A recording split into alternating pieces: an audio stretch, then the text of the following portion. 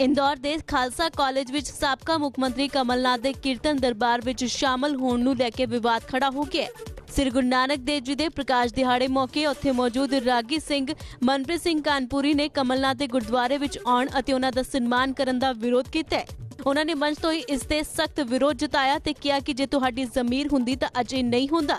ਰਾਗੀ ਮਨਪ੍ਰੀਤ ਸਿੰਘ ਦਾ ਇਹ ਰਵੱਈਆ ਦੇਖ ਕੇ ਹਰ ਕੋਈ ਉੱਥੇ ਹੈਰਾਨ ਰਹਿ ਗਿਆ। ਉਹਨਾਂ ਨੇ ਕਿਹਾ ਕਿ 1984 ਵਿੱਚ ਜਿਸ ਦੇ ਇਸ਼ਾਰੇ ਤੇ ਹਜ਼ਾਰਾਂ ਸਿੱਖਾਂ ਦਾ ਕਤਲੇਆਮ ਕੀਤਾ ਗਿਆ, ਦੁਕਾਨਾਂ ਸਾੜੀਆਂ ਗਈਆਂ, ਅਸੀਂ ਉਸ ਇਨਸਾਨ ਦਾ ਸਨਮਾਨ ਕਰ ਰਹੇ ਹਾਂ। ਨਾਲ ਹੀ ਉਹਨਾਂ ਨੇ ਕਿਹਾ ਕਿ 1984 ਵਿੱਚ ਸਿੱਖਾਂ ਨੂੰ ਬਰਬਾਦ ਕਰਨ ਵਾਲਿਆਂ ਦਾ ਗੁਣਗਾਨ ਬੰਦ ਕਰ ਦਿਓ। ਉੱਥੇ ਹੀ ਨਹੀਂ ਰੁਕੇ। ਨਾਲ ਹੀ ਉਹਨਾਂ ਨੇ ਇਹ ਵੀ ਸੌਂ ਖਾਦੀ ਕਿ ਉਹ ਅੱਜ ਤੋਂ ਬਾਅਦ ਇੰਦੌਰ ਕਦੇ ਨਹੀਂ ਆਉਣਗੇ। ਦੁਬਾਰਾ ਇੰਦੌਰ ਨਹੀਂ ਆਵਾਂਗਾ ਆਪਣੀ ਜ਼ਿੰਦਗੀ 'ਚ।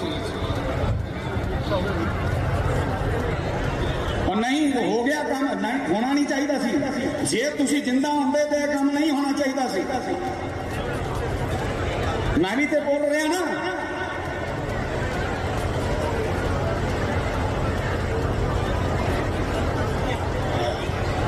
ਹੁਣ ਬੋਲੇ, ਮੇਰੀ ਵਾਰੀ ਬੋਲ ਰਹੇ ਹੋ, ਉਸ ਸਮੇਂ ਕਿੱਥੇ ਸੀ? ਨਹੀਂ, ਮੇਰੀ ਵਾਰੀ ਬੋਲ ਰਹੇ ਹੋ ਆ ਕੇ, ਉਸ ਸਮੇਂ ਕਿੱਥੇ ਸੀ? ਤੁਸੀਂ ਪਰਚੋਲ ਕਰੋ ਤੁਸੀਂ ਕੀ ਕੀਤਾ? ਮੈਂ ਆਪਣਾ ਕੀਰਤਨ ਕਰਕੇ ਆਪਣੇ ਟਾਈਮ ਸਿਰ ਆਪਣਾ ਇੰਦੌਰ ਛੱਡ ਦੇਣਾ। ਇਹ ਹੁਣ ਤੁਸੀਂ ਪਰਚੋਲ ਕਰਿਓ, ਜੇ ਮੈਂ ਗਲਤ ਹਾਂ, ਮੈਨੂੰ ਰੱਬ ਭੁਗਤੇਗਾ ਜੇ ਤੁਸੀਂ ਗਲਤ ਹੋ, ਗੁਰੂ ਨਾਨਕ ਤੁਹਾਨੂੰ ਦੇਖਿਓ ਸੱਤ ਵਜਨ